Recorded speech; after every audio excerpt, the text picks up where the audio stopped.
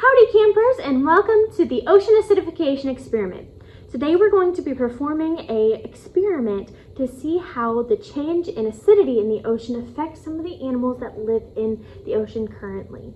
Before we start on this experiment, let's first talk about what ocean acidification is.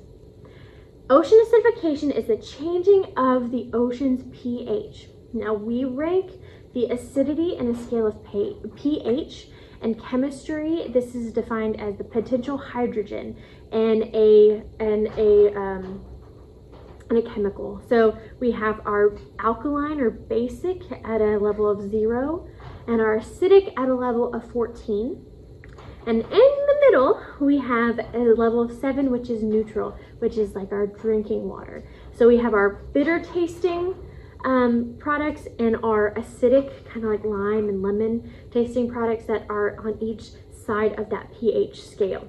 Bases um, have a negative hydroxide ion, whereas uh, acids have positive uh, hydrogen ions. So that is kind of how, in their chemical composition, how we how we describe them in chemistry, how how we rank them based on their um, pH level. Now, how is the ocean becoming more acidic is, um, is has to do with carbon dioxide. So the ocean absorbs 30% of the world's carbon dioxide.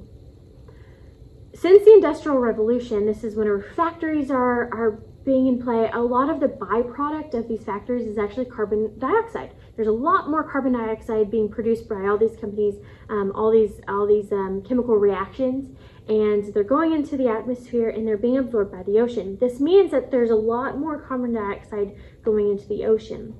And it has changed a 0.1, it is, the ocean has changed by 0.1 um, change in their pH level. Um, before the Industrial Revolution, they were at 8.2. As their pH today, the pH is 8.1. Even this small little decrease can increase the acidity tenfold. That means the acidity of the ocean is 5% greater than it was pre-industrial time. But what does that affect? What does that have to do with anything?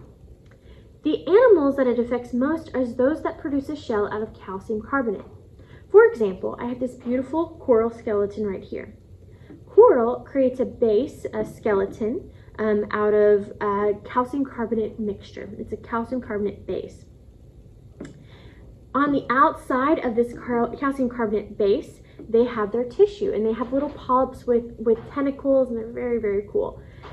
They also have a symbiotic relationship with algae that lives inside their tissue that helps them photosynthesize and and so they are very fragile. There's there's two organisms living on a coral and then they also have this calcium carbonate base. Corals are notorious for not being able to withstand uh, changes in temperature or the, the amount of light in an area. And acidity can cause a big change for these guys. Um, and it has reduced, has been the cause of the reduction of some of our coral reefs. So that's why researchers are paying attention to the coral reefs as a result of the changing acidity of the ocean. But it's not just corals that have an effect. It's all shell producing animals. I have right here two shells of oysters. Now, oysters are part of phylum Mollusca, and phylum Mollusca means all the shell-producing uh, animals. So, um, snails, uh, clams, even octopus create a calcium carbonate in internal um, uh, structures, uh, cuttlefish, um, scallops, they all produce shells out of calcium carbonate.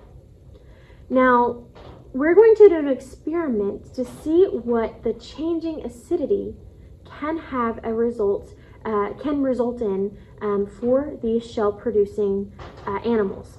So I'm not going to tell you the answer because that's what science is. It's creating an experiment and creating a hypothesis. A hypothesis is an educated guess. So I have here a jar of water. Remember we learned that water has a neutral um, pH and it is, um, it is at 7. I picked two shells that were very similar. Now, I have access to shells just on the beach here, but not everybody does. So you can also do this experiment with eggshells. They are also calcium carbonate based. What you can do is to take one shell and you can measure them beforehand.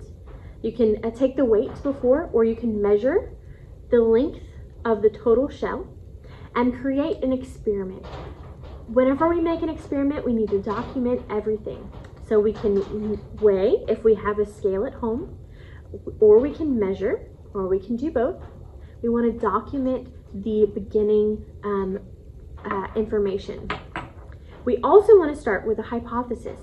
Hypotheses are usually if-then statements. If Rena eats a cake, she will have a tummy ache. Then she will have a tummy ache. There's if-then statements in science. If the pH, uh, or if we add vinegar um, uh, to a, our experiment, then this will happen. So that is our guess, our educated guess based on our experiment setup. So you're going to want one jar with fresh water and one jar filled with vinegar. You're going to document the time that you place each shell in the fresh water and when you place it into the vinegar.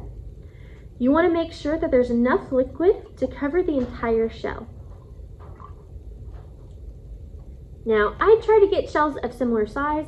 You might not have two shells of similar size or not want, um, or not have an egg the same size, um, but that's why we document and measure beforehand.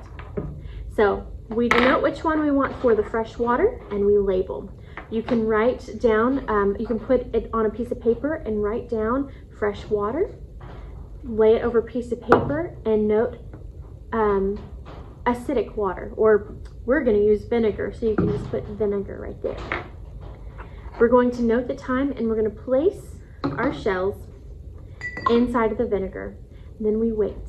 Now, you will see the results of this experiment, but I it depends on the the the um, it depends on the subject for your experiment, if it's an oyster shell or if it's an egg.